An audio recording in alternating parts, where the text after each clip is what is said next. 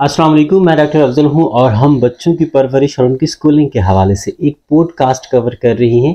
तो आप ज़रूर इस पॉडकास्ट को विज़िट कीजिएगा, अपने नेटवर्क के साथ शरीक कीजिएगा, ताकि हम एक बेहतर मुआशरा बना सकें। आज हम बात करेंगे बच्चों के ख़ुद अतमादी पे और जो कॉन्फिडेंट है सेल्फ़ कॉन्फिडेंट है, जो बच्चों की ख़ुद अतमादी है, वो बच्चे की ज़िंदगी को फ्यूचर में कैसे मुतासर करती है। और ये कि हम बच्चों को कैसे कॉन्फिडेंट बना सकते हैं, ताकि वो ज़िंदगी के लिए प्रिपेयर रहें और वो एक बेहतर ज़िंदगी आगे जी सकें। कॉन्फिडेंट ज़िंदगी के लिए बहुत अहम है। मेरे इर्द गिर्द ऐसे बड़े सारे लोग हैं, उनके पास कोई ख़ास डिग्री नहीं है, उनके पास कोई ख़ास स्किल भी नहीं है जिसको आप कह सकते हो कि एक बहुत ज़बरदस्त स्किल है रिक्वायर्ड स्किल है, और पूरी दुनिया में इसकी डिमांड है। लेकिन इन स्किल्स के न होने की वजह से मेरे इर्द गिर्द बड़े सारे ऐसे लोग हैं जिनको मैं देखता हूँ और वो बहुत अच्छा अर्न कर रहे हैं, बहुत अच्छा कमा रहे हैं। वो अपनी ज़िंदगी को एक कामयाब तरीके से गुजार रहे हैं। तो जब मैंने उनका एनालिसिस किया, जब मैंने उनको देखा, या तो वो मैट्रिक थे, बहुत मुश्किल से मैट्रिक पास किया था, लेकिन जो बात उनमें थी वो ये थी कि वो खुद एतमाद थे, वो कॉन्फिडेंट थे। उनमें कोई ख़ास हिचकिचाहट नहीं थी। उन, उनमें फ़ैसला करने में कोई डर नहीं था। वो बहुत अच्छे तरीके से और कॉन्फिडेंस से कोई डिसीज़न लेते थे।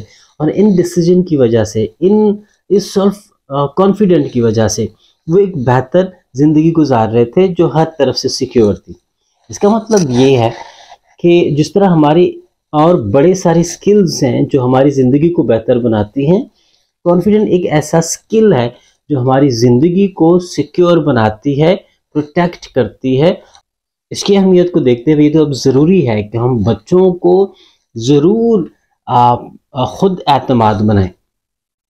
और अगर वो शुरू से बचपन से कॉन्फिडेंट होंगे, उनमें ख़ुद एतमादी होगी, वो बड़े होकर भी एक बहुत बेहतरीन इंसान होंगे, एक बहुत ख़ुद पे रिलाय करने वाले अपने स्किल्स पे जो उनकी काबिलियत है, उन पर यकीन करने वाले लोग होंगे।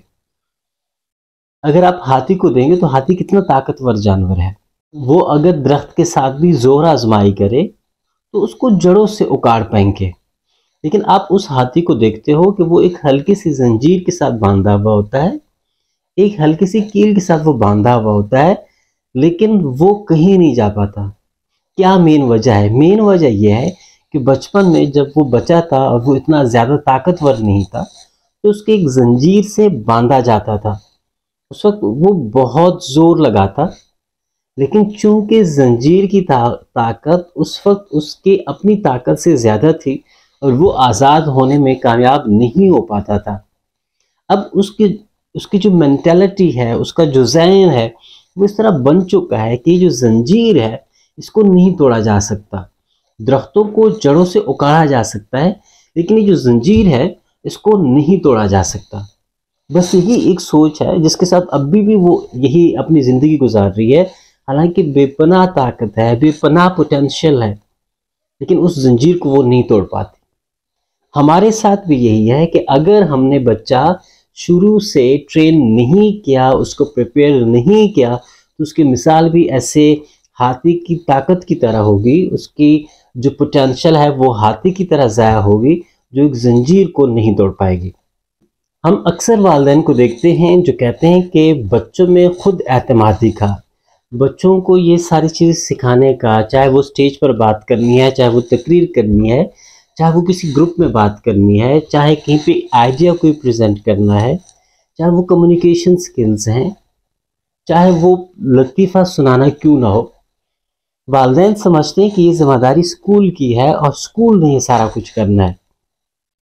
अगर आप ऐसे वालिद हैं और मुकम्मल तौर पे डिपेंड करते हैं कि स्कूल ने ऐसा करना है तो ये बिल्कुल मुमकिन नहीं हो पाएगा और आपका बच्चा जो वो डेवलप नहीं होगा, वो सेल्फ सेल्फ कॉन्फिडेंट बच्चा नहीं होगा।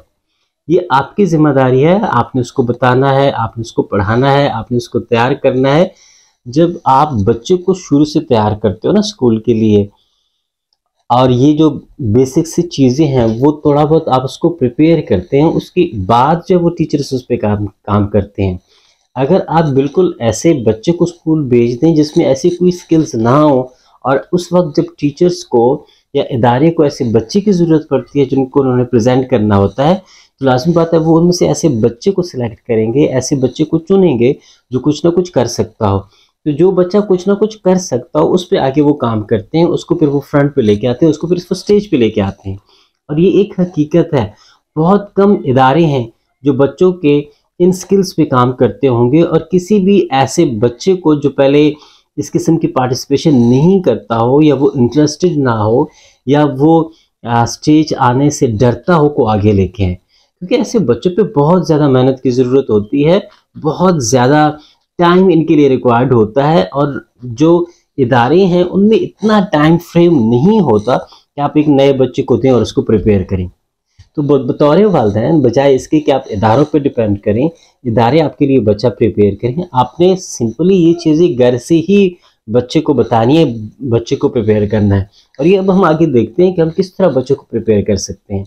और इससे पहले वेजेस भी मैं आपको बता चुका हूँ कि जब हमारा बच्चा प्री स्कूलिंग स्टेज में होता है। यानी कि वो एज जिसमें बच्चा अभी स्कूल नहीं जाता स्कूल से पहले का उसका दौर है, वो घर पे तो हम दो साल से उस बच्चे को स्कूल के लिए प्रिपेयर करना शुरू कर देते हैं।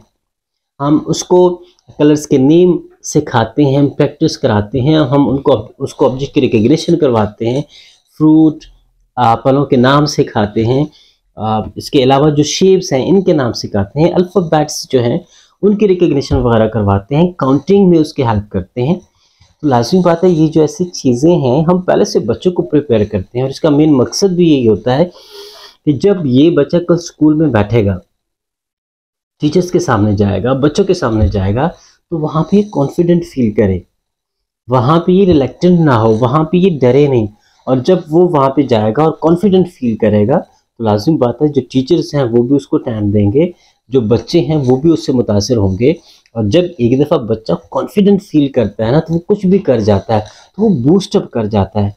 तो अगर आपने बच्चों को घर से प्रिपेयर किया हुआ है, चाहे वो किसी तरीके से भी हो, किसी भी टॉपिक के लिए हो, किसी भी फ़ील्ड में आपने किया हुआ है तो जब वो स्कूल जाएगा स्कूल में वो पार्टिसिपेट करेगा, वो टीचर्स को, इसके अलावा जो उसके कलीग्स हैं जिसको इसको फैलो उसके फैलोज हैं, उनको मुतासर करेगा उसको जो प्रेज़ मिलेगी, उसको जो प्यार मिलेगा तो उसको कॉन्फिडेंट करेगा और ये ऐसा कॉन्फिडेंट है, ये ऐसी फोर्स है जो फिर रुकने वाले नहीं है और बच्चा जब वो आगे बढ़ता जाता है, चलता जाता है।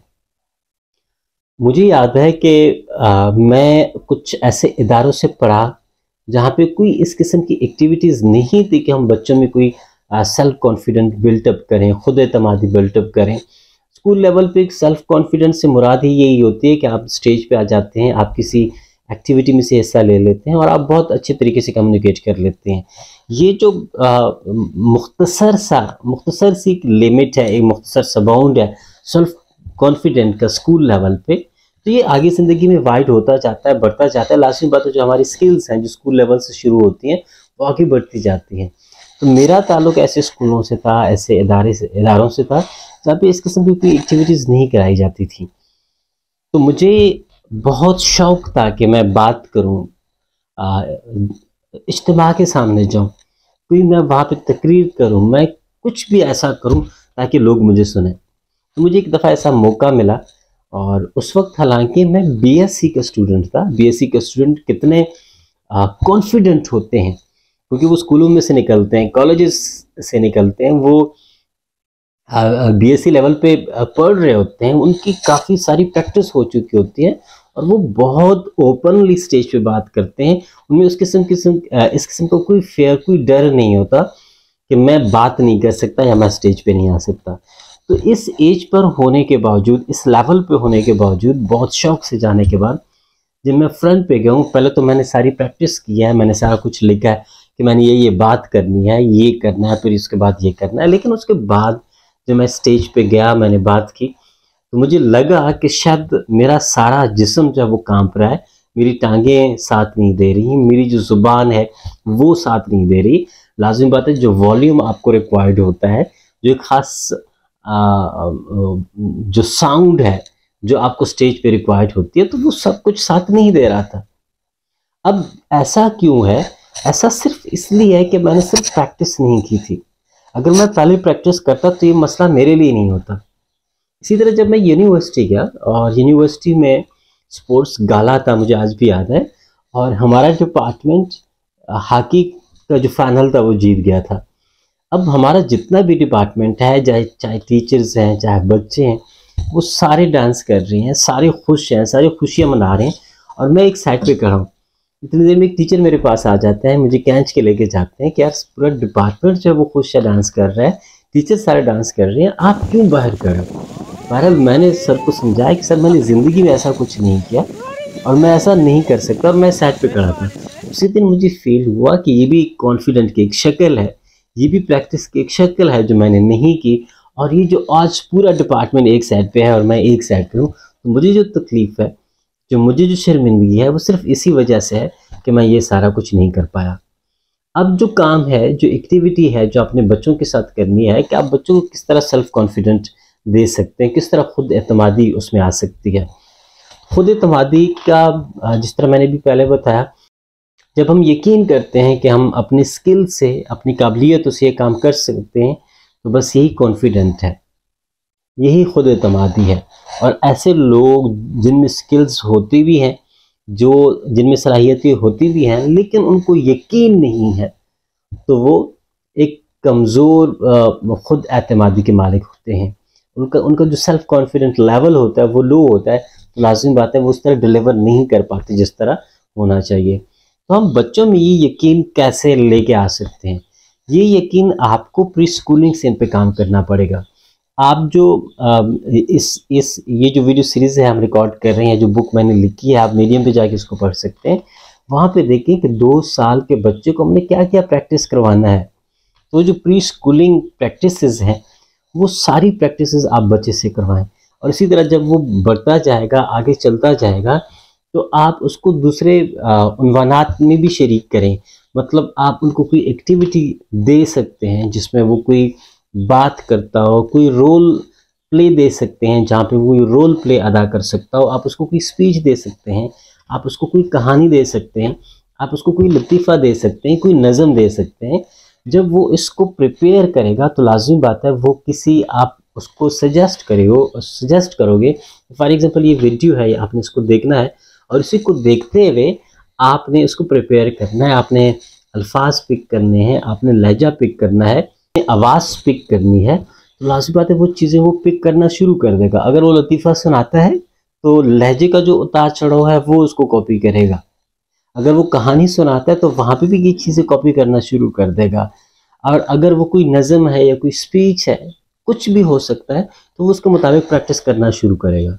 अब उसने करना ये है कि उसने मोबाइल डिवाइस रखना है, ख़ास प्रैक्टिस के बाद तो उसने वो रिकॉर्डिंग शुरू कर देनी है। बिल्कुल स्टार्ट में रिकॉर्डिंग बिल्कुल ना करवाएँ। अगर बिल्कुल स्टार्ट में करवाएँगे, उस वक्त बच्चे की प्रैक्टिस बिल्कुल नहीं होगी। और जो अब जब वो अपने आप को सुनेगा तो वो बुरा महसूस कर सकता है और वो उसको आगे लेके जाने के बजाय बैक साइड पे लेके जा सकता है। तो जब तक आप समझते हैं कि एक ख़ास लेवल तक नहीं पहुँचा, इसमें जो बेसिक चीज़ें हैं, वो उसने कवर नहीं की हुई हैं, उस वक्त तक आप उसकी वीडियो कतन रिकॉर्ड ना करवाएँ। जब वो वीडियो रिकॉर्ड हो जाएगी तो फिर आप बच्चे को बताएँ कि बेटा आपने सेल्फ असेसमेंट करनी है, सेल्फ एनालिसिस करना है। आप इस वीडियो को देखें, इसमें क्या क्या आपकी गलतियाँ हैं क्या क्या आप गलत बोल रहे हो क्या क्या चीज़ें हैं जो आपने कॉपी नहीं की हैं तो वो नोट करता जाएगा। इसी के बाद उसकी सेल्फ असेसमेंट शुरू हो जाएगी। इसी तरह उसने वीडियो देखी असेसमेंट की, लिखा, उसकी प्रैक्टिस की और प्रैक्टिस के बाद दोबारा से वीडियो रिकॉर्ड करेगा, दोबारा से सेल्फ असेसमेंट होगी तो एक सर्कल है जो चलता रहेगा और यही सर्कल है जो उसको कामयाब बनाएगा। मैंने अपनी ट्रेनिंग्स में देखा है या उसके बाद जितना भी मैं ये काम कर रहा हूँ, ये जो सर्कल जिसकी मैं बात कर रहा हूँ वीडियो रिकॉर्ड का सेल्फ असेसमेंट का और करेक्शन का प्रैक्टिस का, जितना पावरफुल है, ये इतना पावरफुल है इसका कोई मुतबादल नहीं है। तो ये एक्टिविटी ज़रूर अपने बच्चों के साथ कीजिएगा। और बच्चों के साथ ये जो सर्कल है, इसको रिपीट करने के बाद मुझे ज़रूर बताइएगा कि बच्चों पे इसके क्या असरात हैं। Thank you so much for watching